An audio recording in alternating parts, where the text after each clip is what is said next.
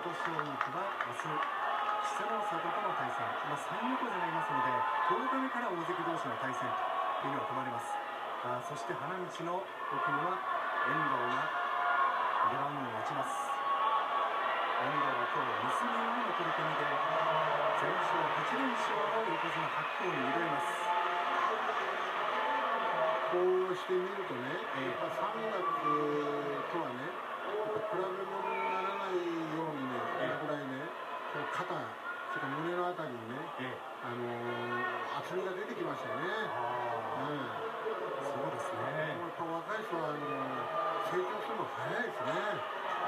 そしてこの後ろ姿もですね、はい本当にこう筋肉ついてきたなって感じですもんね。あの巡業中もね、あの今日の対戦相手の白鵬やね、はい。春馬富士からこうあの土俵に上がってこいってね、ええ誘われるとやっぱ素直に上がってってね、ええやっぱ胸借りてね、はい。あのやってましたよ。ああーもう全部それがね、こういい方向へ栄養になってますよあ、ね。なるほど。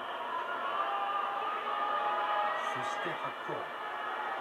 白鵬も、まあ、自身の体の中で少し胸の筋肉をつけたいということで、去年の暮れからその胸の筋肉をつけるトレーニングを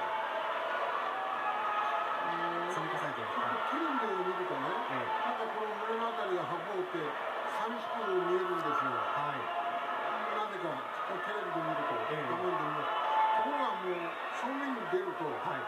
本当に威圧感があって、えそうですねそ。んなの、えっていうのはね、全然違うんですよね。あ何なんですかね。ーやはりこう上半身に比べて下から下半身に向けてのですね、筋肉が非常にバランスよく発達してますので、そうするとこう少し画面に映ると相対的に上の方が寂しく寂しく見えるんですね。見えちゃうんでしょうね。ええでも生で確かにこう近くで見ると本当に分厚いですもんね。はい、あのですからこう仕切ってて接してると、はい。それはもうとてつもなくこう大きく相手が見えてるはずですよ。そうですね。